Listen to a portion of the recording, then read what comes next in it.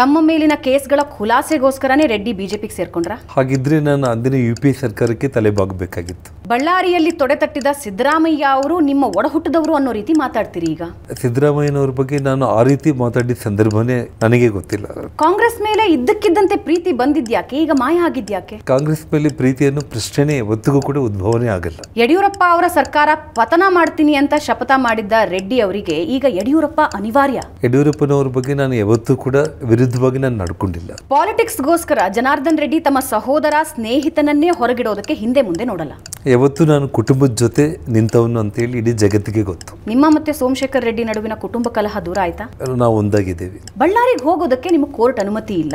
ರಾಮುಲು ಪರ ಪ್ರಚಾರ ಹೆಂಗ್ ಮಾಡ್ತೀರಿ? ನನ್ನ ಶ್ರೀಮತಿ. ರಾಮುಲು ಮತ್ತು ನಿಮ್ಮ ಮೈತ್ರಿ ಇದೆಯಲ್ಲ ಅದು ಕ್ಯಾಮರಾ ಮುಂದೆ. ಸಂಬಂಧ ಇನ್ನೂ ಹಳಸಿದೆ. ಕೊನೆ ಉಸಿರಿರೋವರೆಗೂ ಕೂಡ ನಮ್ಮ ಸಂಬಂಧ ಅಳಿಸೋ ಪ್ರಶ್ನೆನೇ ಇಲ್ಲ. ಒಂದು ಕಾಲದ ಪರಮಶತ್ರು ಕುಮಾರಸ್ವಾಮಿ ಇವತ್ತು ಮಿತ್ರರಾಗಬೇಕಾದ ಅನಿವಾರ್ಯತೆ. ಭಾರತೀಯ ಜನತಾ ಪಕ್ಷದ ಮಿತ್ರರೆಲ್ಲರೂ ಕೂಡ ನನ್ನ ಮಿತ್ರರೇ ಶತ್ರುಗಳೆಲ್ಲ ನನ್ನ ಶತ್ರುಗಳೇ. ಧನ್ಯವಾದ ಜನಾರ್ದನ್ ರೆಡ್ಡಿ ಅವರೇ. ನಮಸ್ಕಾರ.